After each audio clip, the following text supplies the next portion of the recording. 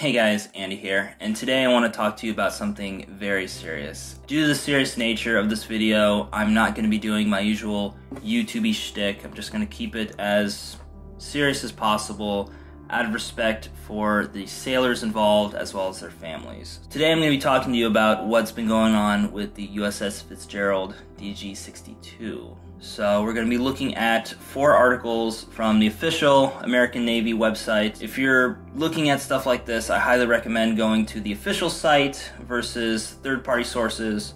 So that way you get the true, honest to goodness information. So I'm also going to have links in the description for these articles so you can look over them on your own time as well. But we're just going to be looking over these and then I'm going to be giving my own thoughts as to uh, where we go from here. What, what have we learned from this, uh, this horrific accident. For those who don't know who I am and are just stumbling across this video looking up stuff about the USS Fitzgerald, I'm a former second class petty officer, that's an E5, in the US Navy, a former sonar technician, so I was formerly STG 2 on board USS Lassen, and before that USS Curts, which are DDG 82 and FFG 38 respectively. And I served five years in the Navy, got out and I'm currently going to school to get my degree. We're going to be starting from the first article and working our way to the most recent article at the time of this recording. So, USS Fitzgerald involved in collision. USS Fitzgerald DG-62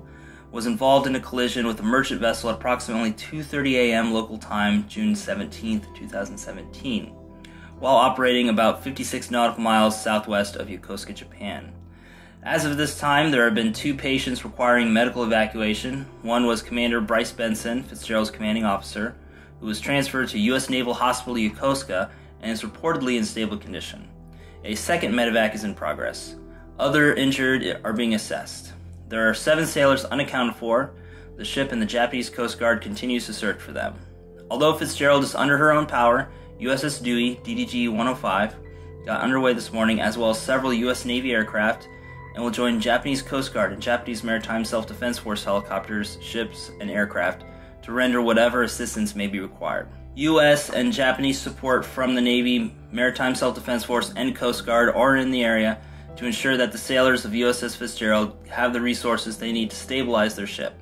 As more information is learned, we will be sure to share it with you and with the Fitzgerald families and, when appropriate, the public.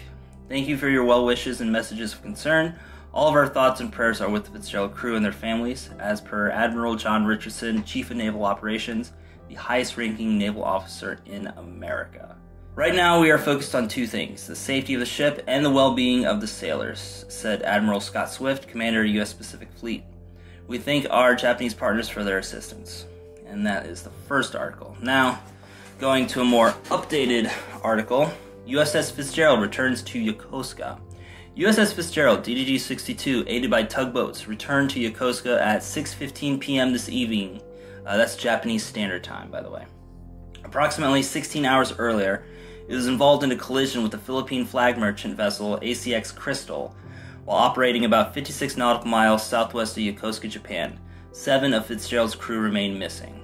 Vice Admiral Joseph P. Aucoin, I'm not sure how to pronounce his name, uh, Commander U.S. 7th Fleet, along with many family members, were on the pier when the ship arrived. This has been a difficult day, Aucoin said. I'm humbled by the bravery and tenacity of the Fitzgerald crew. Now that the ship is in Yokosuka, I ask that you help the families by maintaining their privacy as we continue the search for our shipmates.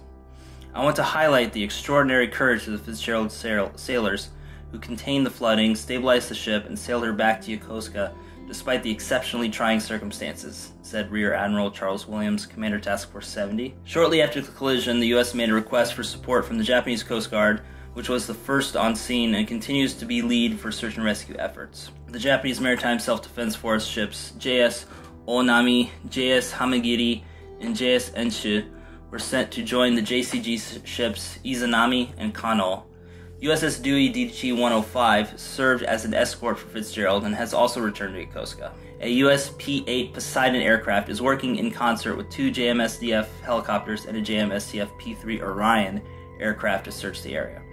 Names of the missing sailors are being withheld until the families have been notified.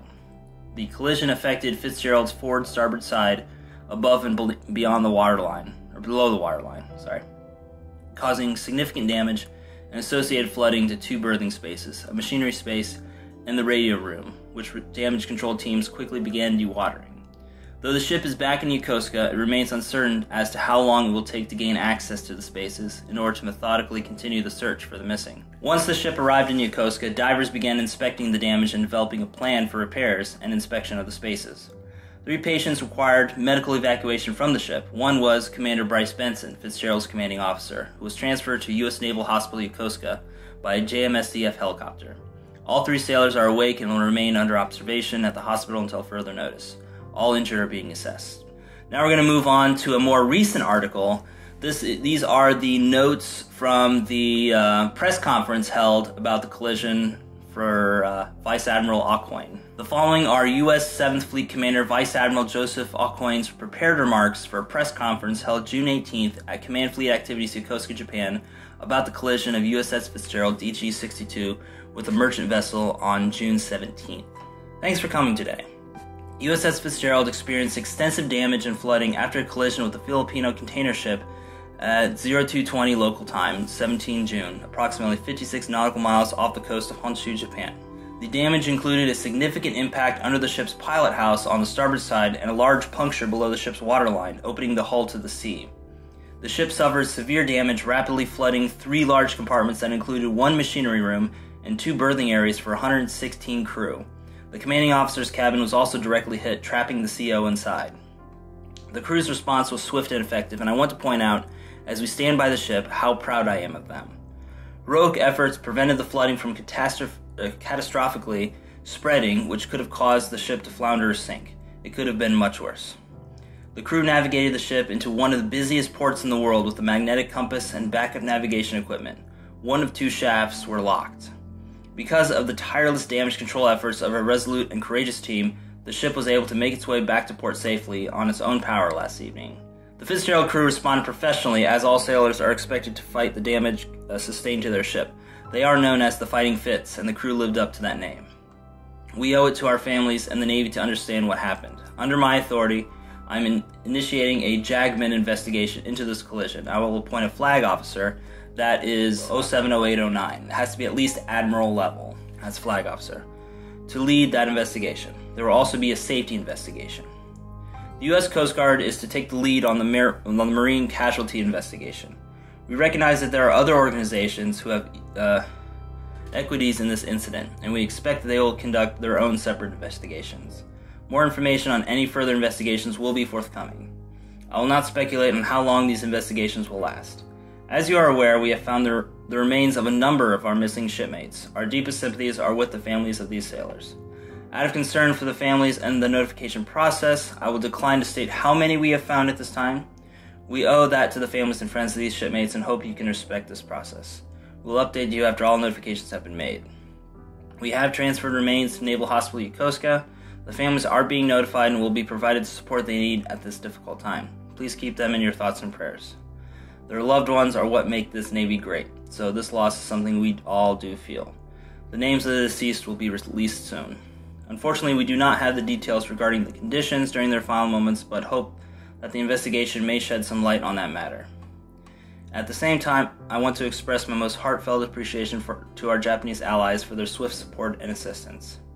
Japanese Coast Guard ships and helicopters were the first on scene and our first medevac. The ship's commanding officer, Commander Bryce Benson, was accomplished thanks to a JMSDF helicopter. A second medevac was performed for two sailors with minor injuries. All three patients are alert and under observation at Naval Hospital Yokosuka.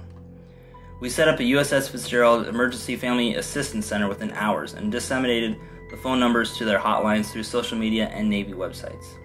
This support center will remain open for chaplain and counselor care indefinitely 24 7 on the Fleet and Family Support Center's fourth floor.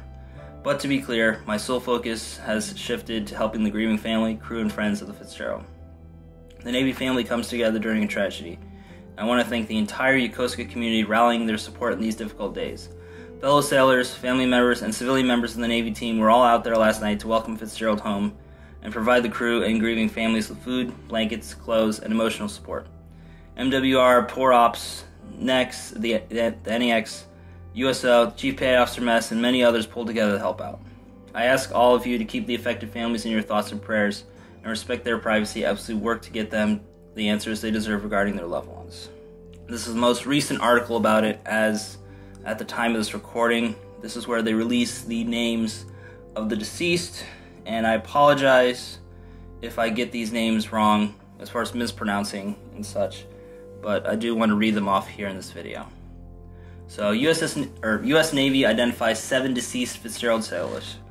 The remains of seven sailors previously reported missing were located in, in flooded berthing compartments after divers gained access to the spaces on June 18th that were damaged when USS Fitzgerald was involved in a collision with the Philippine flagged merchant vessel ACX Crystal. And the deceased are gunner's mate Seaman Dakota Kyle Rigsby, 19, from Palmyra, Virginia. Yeoman third class Shingo Alexander Douglass, 25, from San Diego, California. Sonar technician, third class Ngak T. Chung Hyung, I think is how you pronounce his name, uh, 25, from Oakville, Connecticut. Gunner's mate, second class Noah Hernandez, 26, from uh, Weslaco, Texas. Fire controlman, second class Carlos Victor Ganzon Sibayan, uh, 23, from Chula Vista, California. Personnel Specialist, First Class, Xavier Alec Martin, 24, from Halethorpe, Maryland. Fire Controlman, First Class, Gary Lee Rehm Jr., 37, from Elmira, Ohio. Now that we've read the articles, let's get into my own personal thoughts about this. And honestly, this is probably one of the hardest videos I've ever had to make. This hits especially close to home because where the uh, the ship was struck, where the Fitz was struck, was the same exact berthing that I would have been in on on board Lassen. So had Lassen been struck instead of the Fitz, that would have affected my berthing as well. And everybody involved, all the rates and stuff were the same rates. I mean, hell, there was a sonar tech that was part of the uh, the seven, and it just it hits especially close to home for me. So to see these kinds of tragedies happen, it hits a little too close to home for me because the Fitz was always like a sister ship to the Lassen, which is the one I was on. And we would always go and do exercises and stuff together, along with other destroyers like the McCampbell, the Mustin, uh, every once in a while the McCain, Stethem. Those were our sister ships. And to see one of our sister ships affected by this, and this I mean this wasn't out in the Philippines or anything like that. This was what 56 nautical miles close to Japan. They were probably getting ready to pull into port in like a day or two, and then they got struck by by a merchant vessel. But I do want to commend those who snapped at the ready for damage control efforts because you know also keep in mind this happened at what 2:30 in the morning, late at night. Now, granted, there are watchstanders manning proper watch stations, so it's not like the ship's running completely ghost. But the majority of the crew is sleeping unless you're on watch. And to have them snap at the ready from a dead sleep to damage control efforts to getting out of the spaces, it just speaks volumes to the outstanding professionalism of the crew. And I also want to highly highly encourage those involved, both crew and families, to immediately seek mental counseling. I don't care how strong you are, you have to go and seek mental counseling because stuff like this will, you know, it will bubble up eventually in some form, and you need to seek counseling to take care of yourself and to take care of others. I really hope that you guys can get the help that you need, both mentally, financially through donations. Speaking of donations, I got some updated information involving donations to the Fitz. I'll also be le- leaving uh, links in the description again to uh, different official sources on how you can donate and help out the USS Fitzgerald crew. And I'll be sure to do my part as well. And I encourage everybody civilians, veterans, fellow service members, families of such to donate if you can to this cause because USS Fitzgerald needs us now more than ever. I'll be doing my part and I hope to uh, see others in the community do their part as well. Anyway, with that said, be seeing y'all next time for more updates as the situation continues to unfold, as we get more info on the events that happened through this investigation, I'll be sure to keep you guys posted on that. But for now, that's the end of the video. So we'll see you next time. Bye, guys.